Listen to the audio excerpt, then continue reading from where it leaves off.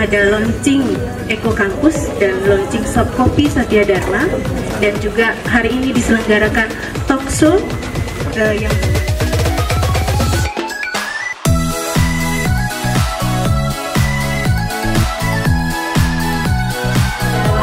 semua. Yeah.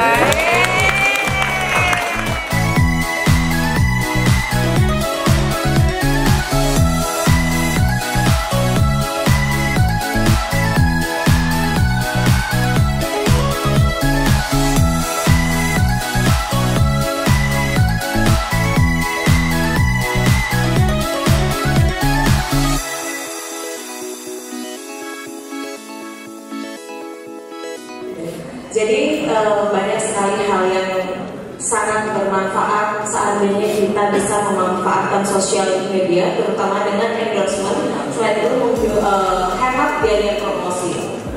Jangan takut karena kalau kita aktif berendorsement itu akan meningkatkan uh, hasil dari uh, penjualan produk kita. Tentunya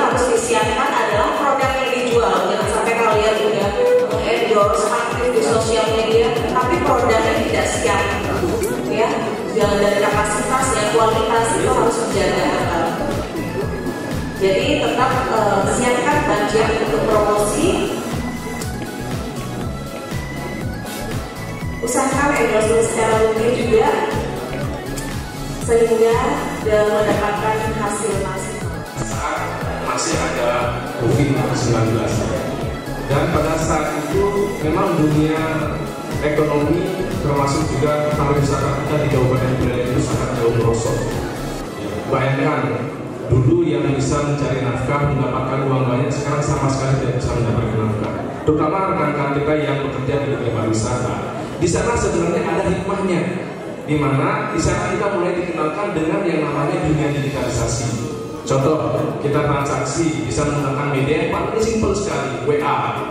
Kemudian pakai media sosial yang Facebook, Instagram maupun yang lainnya. Dan yang lebih penting lagi, bagi kita di pemerintahan disadarkan bahwasannya kita rapat tidak mesti harus ketemu. Kita mulai digunakan dengan namanya subjektif rapat secara virtual dan itu kita gunakan sampai dengan sekarang. Bayangkan manfaatnya luar biasa sekali. Kalau kita melihat dari sisi positifnya adalah seperti itu nah, itu juga menyadarkan kita secara tidak langsung dan sekarang kita harus siap menghadapi dengan yang namanya dunia digital. Uh, akses pasar produk-produk dan itu yang kita sudah lakukan adalah saat ini Bapak Ibu sekalian kami sudah juga melakukan kerjasama dengan berbagai kampus. Ya, kemarin namanya ada Ganesha Digital Entrepreneur Academy jadi ada yang mahasiswa itu dengan di bawah Kementerian Ristek sudah ada program pendampingan ada yang mahasiswa dengan beberapa pelaku-pelaku UMKM pedagang ada program magang apa yang bisa diberikan materi atau diberikan dampingan oleh mahasiswa itu yang diberi, diberikan dampingan UMKM apa yang bisa diberikan ilmunya oleh UMKM itu yang di kepada dari mahasiswa. Jadi ini ada transfer dari yang experience-nya pelaku UMKM